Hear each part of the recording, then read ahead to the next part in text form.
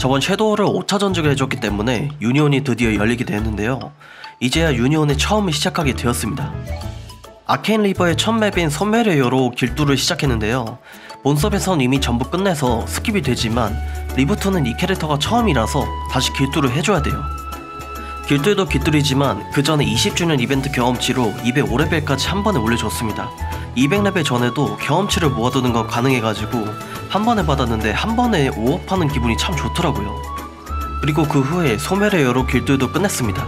심벌도 받아서 이제 여로 몹도 잡는 게 가능하겠네요. 여로 주간 퀘스트인 에르다 스펙트럼도 해줬는데요. 본섭에선 귀찮아서 안 했던 건데 이상하게 리부트에선 하고 싶어지더라고요. 리부트에서만 느낄 수 있는 성장의 맛 때문에 그런 게 아닐까 싶습니다. 이제 길뚫도 다 했으니 다음 유니온 링크 캐릭터를 육성했는데요. 바로 아크입니다. 데미지 연관 링크 캐릭터라서 육성해줬어요. 일단 본캐 섀도어도 이벤트로 207레벨을 달성했습니다. 이벤트만 하더라도 매일 업하는 게 쉽더라고요.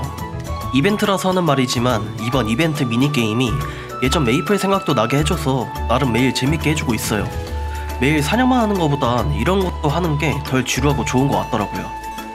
그렇게 열심히 한 결과 일단 이벤트 상점에서 이벤트링 하나를 구입했습니다. 이제 이걸 레전드리 주문서까지 산 다음 옵션을 띄워봐야죠. 아크 육성도 출석으로 받은 메가버닝 부스터를 사용해서 육성할 겁니다. 요즘은 출석에서 메가버닝도 줘가지고 좋더라고요. 전국용사 퀘스트도 이번에 해줬는데요. 전국용사 퀘스트를 하면 코디템도 주고 펫도 줘가지고 공략을 찾아보고 클리어를 해줬습니다. 받은 펫은 바로 메이프릴인데요. 이번 20주년 이벤트가 메이프릴이라는 명칭인데 그 명칭대로 펫을 준것 같아요. 버프도 사용해줘서 이제 좀 손이 편하겠네요. 몬스터파크도 시작했습니다. 아직은 몬파는 여로가 적정 레벨이라서 이곳을 돌고 있는데요. 나중에는 익스트림도 갈 수 있겠죠? 섀도어의 레벨이 210레벨이 되었습니다. 드디어 츄츄 아일랜드도 갈 수 있게 됐네요.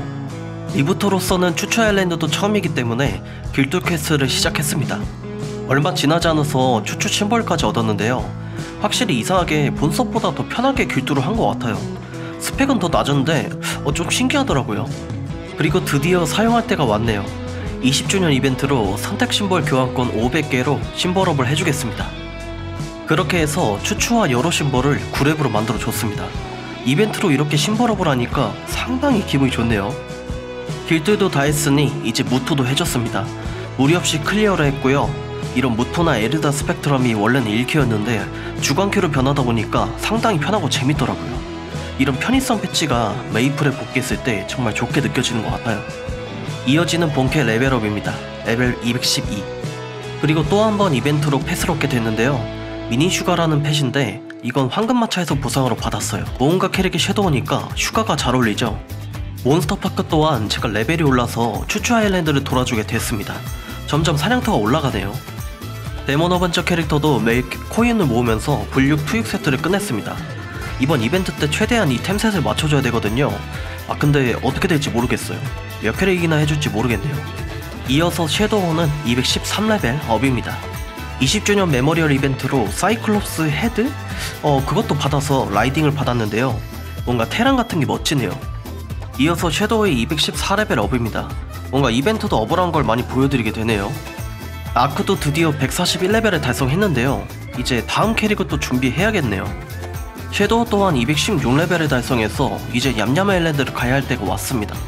원래 215레벨에 가야 되는데 길두를 늦게 해서 이제서야 가게 되네요. 그래서 얌얌 아일랜드를 본격적으로 진입을 해서 길뚫 퀘스트를 진행했고요. 얌얌 아일랜드 길뚫 퀘가 비교적 짧다 보니까 빠르게 클리어를 했습니다. 하는 김에 리버스 시티 퀘스트도 같이 클리어를 해서 이제 레헬른 전까지는 길뚫을 안 해도 될 것 같아요. 아크 다음에 육성할 직업이 정해졌는데요. 바로 일리움입니다. 데미지 관련 링크이기도 하고요. 개인적으로 좋아하는 직업이라서 키워주려고 해요. 그리고 리부트에서 처음으로 메획 반지를 맞추게 됐습니다. 레전 주문서를 바르고 감정하니까 바로 메획이 떠가지고 정말 기분 좋더라고요. 스탯도 럭이 붙어가지고 섀도어인 저에게 맞는 주 스탯으로 떨어졌습니다. 그렇게 일퀘도 하다가 217레벨을 달성했습니다. 이어서 처음으로 리부트에서 카오스 혼테일을 잡아봤는데요.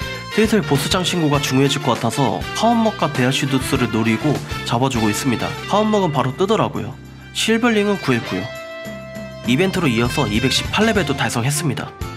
이제 이벤트도 바뀌어서 바뀐 이벤트를 하고 있는데 아 이 메이프릴 키친이라는 미니게임 정말 눈 아프고 힘들더라고요 1등 2등은 어찌나 하기 힘든지 아 진짜 맨날 3등 5판으로 캔디를 먹고 있습니다 던전 블래스트도 프로즌 블래스트로 바뀌어서 작품까지 잡는 미니게임이거든요. 확실히 던전 블래스트보다는 훨씬 어려워지긴 했는데 뭐 시간 많이 걸리긴 하지만 그래도 경험치는 많이 주니까 만족스럽더라고요. 그렇게 섀도어의 레벨도 219레벨이 되었습니다. 1업만 더하면 레헬른은 가겠네요. 바로 이어서 이벤트 미니게임으로 220레벨을 달성했습니다. 이제 레헬른 심볼을 얻으러 갈 수 있겠네요 레헬른 가기 전에 이벤트 캔디로 의자도 사봤는데요. 의자에 앉으면 음악도 나와서 사봤는데 퀄리티도 괜찮더라고요. 회전목마에 이어서 20주년 수정구슬도 사봤거든요. 근데 이것도 음악이 나온다고 하더라고요. 메이플 의자 퀄리티도 점점 좋아지는 것 같아요. 황금마차 보상으로 파티퀘스트 데미지 스킨도 얻었는데요. 파란 게 섀도어와 어울려 보여서 한번 얻어봤습니다. 두 번째 이벤트 링도 얻었는데요 이번엔 유니크지만 럭 12%가 달려서 무난하게 오래 사용할 것 같아요. 카혼목도 럭 9%가 떠져서 매우 만족 중인데요. 추업도 나중에 조금은 주스탯 쪽으로 돌려줘야겠죠? 뭐 여러가지 있었는데 이제야 드디어 레헬른 길뚫을 시작하게 되었습니다. 레헬른 몹들은 3, 4킬 정도에서 잡았던 것 같은데요. 심벌 교환권 500개가 아니었으면 진짜 몇 번을 잡았을지 생각하기도 싫네요. 레헬른 길뚫 마지막으로 루시드를 잡게 되었습니다 스토리를 끝내고 레헬른 심볼을 얻었는데요. 다음 아르카나 갈 때까지 열심히 올려줘야겠네요. 근데 레헬른 주간퀘가 드림브레이커에서 미드나잇 체이서로 바뀌었더라고요. 예전보다 훨씬 쉬워져가지고 정말 편하게 했습니다. 진짜 레헬른 이제 너무 좋은데요? 몬스터파크도 츄츄에서 레헬른으로 왔습니다. 이제 몬파는 매일 안 하면 정말 손해가 됐네요. 일리움 또한 열심히 해서 레벨 141을 달성했습니다. 이제 다음 직업으로 넘어가야 되는데요 드디어 이제 경험치 링크를 키울 때가 된 것 같아서 메르세데스를 육성하려고 합니다.